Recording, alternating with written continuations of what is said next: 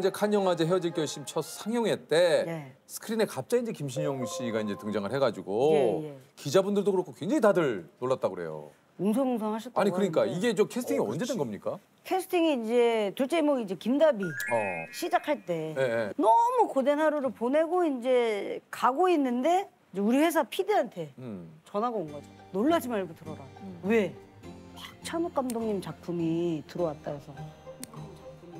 거짓말 하지 마. 파주 갈 때까지도 저는 안 믿었어요. 분명히 가자마자 송 선배가 행 속았지 막 이런 거 하려고 그 준비를 하고 딱 갔는데 어? 하얀 머리를 한 박찬욱 감독님. 와 계셔. 어, 진짜. 진짜 먼저 와 계시는 거예요. 아, 다이어트 한다 고 그러셨죠? 라고. 어, 그것도 알고 계셔. 행님아 때 연기는 어디에서 나온 거예요? 아, 때 굉장히 감명 깊게 봤습니다. 뭐, 누구랑 친해요? 계속. 작품의 이야기는 안 하고 일상 이야기를 굉장히 많이 했었죠.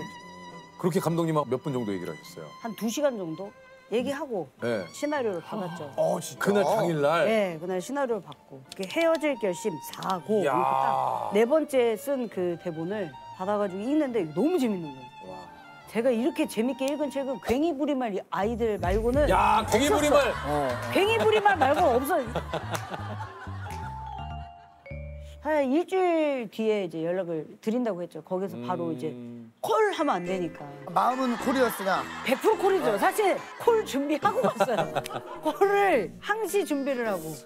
아 근데 김신영 씨가 그걸 한번 물어봤을 거 아니에요 감독님 왜 저를 캐스팅하려고 하시는지. 똑같이 물어봤어요. 왜 저한테 그러니까. 시나리오를 주셨냐 할까?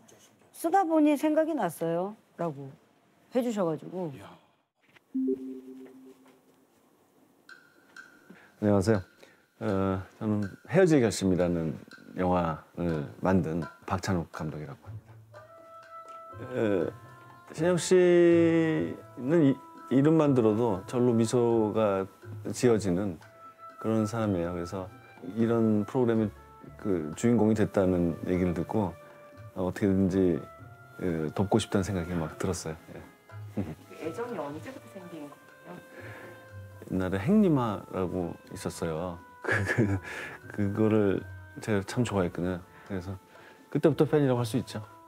인생의 여러 그런 감정을 다 갖춘 웃겼다 울렸다 하는 게 참 좋았어요. 저 사람 뭘 해도 연기자로서 훌륭하겠다는 것은 아주 확신을 할 수 있었습니다. 아니 이게 저 진짜 영화 촬영을 마친 후에 박찬욱 감독님이 이제 여러 인터뷰에서 네. 행님아 때부터 김신영 씨 팬이었고 불세출의 천재라는 확신을 가지고 있었다. 김신영 씨의 연기는 미쳤다라는 생각이 드는데 저 사람은 천재구나. 뭐 이런 얘기를 하셨어요. 이야. 네. 많은 사람들이 이제 또 제 직업에 대해서 이제 선입견이 있잖아요. 사실 편견도 있고. 근데 사실 솔직히 말하면 마음은 콜이었으나 제가 제 자신에게 선입견이 굉장히 컸어요. 근데 이 작품에 대해서 내가 패기치면 어떡하지? 그리고 사람들이 봤을 때 분명히 에 김시영 그냥 개그맨이었지 뭐 이렇게 될까봐 사실 선입견이 굉장히 컸는데 그 선입견을 더 먼저 깨주셔서 너무 감사드리고 더 사실 방패막이 돼주신 것 같아요. 진심으로 딱. 네.